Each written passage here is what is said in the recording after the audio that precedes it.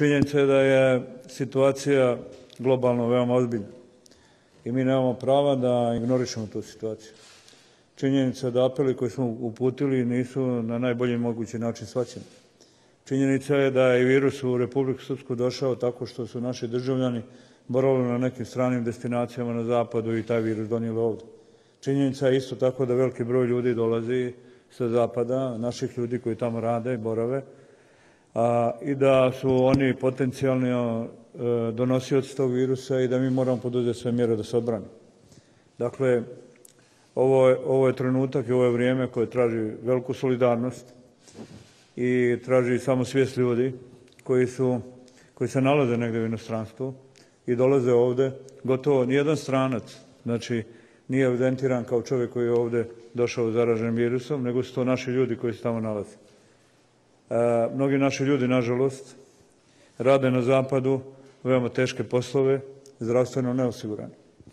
Imamo informacije da neke zemlje, zapadne da je sad ne licitiramo gotovo sve, sada te ljude pod pritiskom svoje situacije deložiraju prema matičnim zemljama pa i prema nama. Ali to ne znači da mi moramo ovdje da budemo neodgovorni za to mjera koja je ovdje dogovorena, a to je da se na svakom graničnom prelazu što je kraće mogućem roku postave vojni šatori sa krevetima i ostalim stvarima koji su neophodni za boravak u karantinu 14 dana i svaki državljanin, znači Republike Srpske i Bosne i Hercegovine i Federacije Bosne i Hercegovine će obavezno provesti u tom šatoru 14 dana, tek nakon toga će moći da putuje dalje ili da se vrati tamo dakle došao ili da se vrati tamo gdje živi, odnosno u bilo gdje u Bosni i Hercegovini, Republiku Srpsku. To je mjera koju smo, e, predsjedništvo će dati saglasnost za to. Ja sam razgovarao sa druga dva člana predsjedništva, oni se slažu. Savjet ministara će putem Ministarstva odbrane tražiti e, i angažovati vojne snage da se to uradi. Znači, uloga vojske će biti da postavite šatore i da ih održava. A Ministarstvo zdravlja će dati svoje lokalne ekipe i naravno dio troškova tih građana ćemo vidjeti, vjerojatno će pasti na teret tih građana a, koji dolaze. Dakle, hrana i sve ostalo što bude bilo neophodno u tom trenutku. Dakle, pozivam sve ljude u Republike Srpskoj da ovo shvate ozbiljno. Onoliko koliko budemo ozbiljni, toliko ćemo se odbraniti. Ovo nije, bilo, ovo nije prva kriza u kojoj se nalazimo, ali bez obzira što od koronavirusa se priča već nekoliko mjeseci, čini mi se da mnogi još to nisu ozbiljno shvatili. Dakle, svaki izgubljeni život e, od koronavirusa e, se može fakturisati na našu neodgovornost svih zajedno.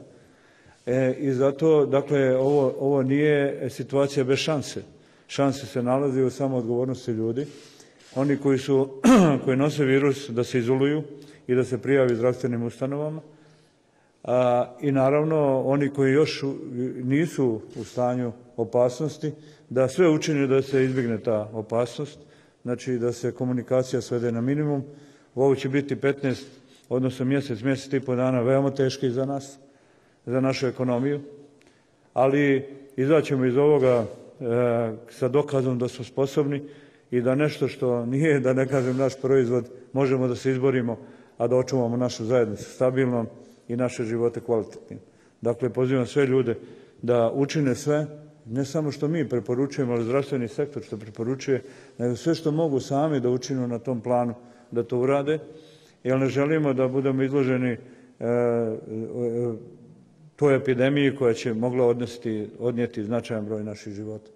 Dakle, ovo što je rečeno ovdje, klinički centar i Ministarstvo zdravlja čini sve da izoluje mogućnost da virus uđe u centralni blok kliničkog centra, i naravno prvenstveno na ginekološko odeljenje, jer smatramo da bi to bilo pogubno. I zato je, koliko smo danas obavješteni, klinički centar a, e, formira posebno odeljenje tamo za majke, trudnice koje treba da rode, a imaju taj virus, one će biti na poseban način tretirane. Tako da se sve mjere poduzmeju što se nas tiče. Ali ovi neodgovorni po hotelima ovi frajeri koji pokušavaju da svemu smije, smiju i svemu da se doskoče na taj način.